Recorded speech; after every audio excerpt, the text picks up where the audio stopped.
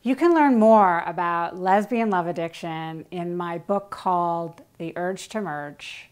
And I will be talking about it in future segments, and the print version will be available next year. And I look forward to telling you more about this soon.